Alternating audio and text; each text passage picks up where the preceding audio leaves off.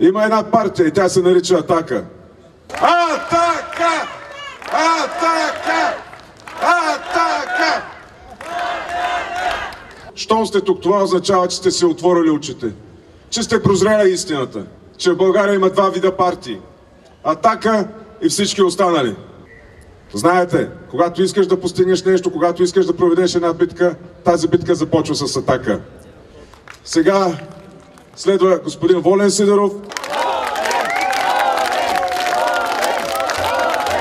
Атака е последната крепост. Падна ли атака, пада България.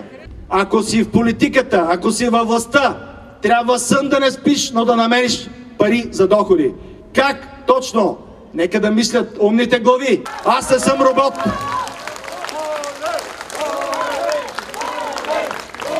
Ако търсите роботи, има такива. Нашият живот е шоу, което трябва да гледаме и да ръкопляскаме на него. Всичко е само в печалбата, всичко е само в Big Brother, ефтино курвенско педераско забавление,